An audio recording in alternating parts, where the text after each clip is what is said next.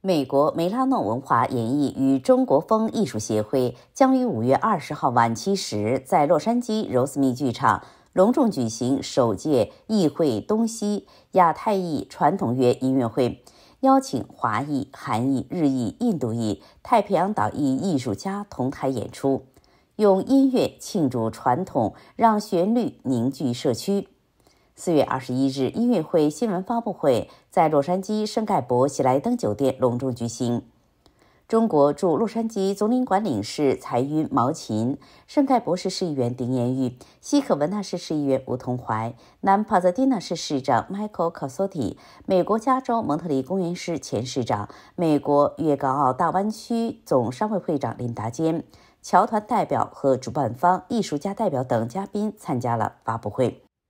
从一九九二年开始，每年五月份，美国本土都会举行亚洲及太平洋岛裔传统月。通过在全美弘扬与展示亚太裔文化艺术，纪念与彰显亚太裔族群对美国所做出的杰出贡献，同时致力促进不同社区间的融合与了解。这次活动取名“议会东西”，意欲来自东方的文化艺术在美国生根发芽、交流融汇。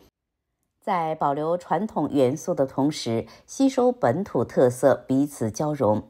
我们的旋律，我们的社区，这是两家主办方共同的活动口号。希望借助这一活动的举行，让亚太裔民众更了解本族裔丰富灿烂的文化，使不同族裔的观众了解与喜爱亚太裔艺术传统，通过音乐助力美国多元文化的发展与跨族裔的沟通与理解。让艺术彼此互通，让文明彼此共建。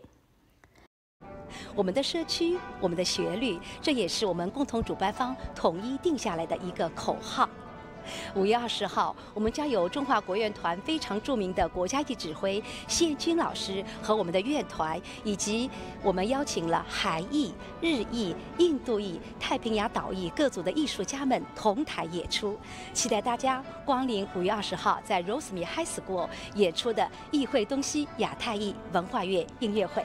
在五月二十日这天呢，来欣赏呢由来自华裔社区非常知名的中华国乐团所带来的精彩的呃这个。民乐经典以及这个流行星座，以及来自这个 King and Wang Korean Dance Academy 所带来的韩国战鼓和远古舞蹈，日裔三位弦和这个键盘艺术家所带来的这个日本民谣和非常经典的这个呃吉卜力呃宫崎骏电影的选段，呃以及印度裔艺术家所带来的北印度裔这个北印度。呃，鼓和琴的一种合奏的音乐，还有呢，两位来自夏威夷的这个艺术家所带来的尤克里里的表演。很荣幸这次参加议会东西的音乐会。嗯，我们弹拨乐团，呃，我们弹拨乐有，呃，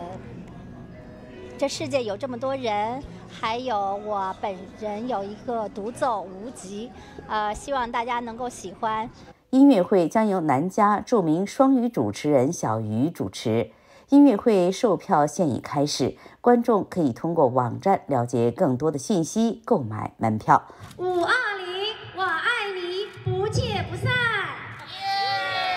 华夏电台记者盛凯博士采访报道。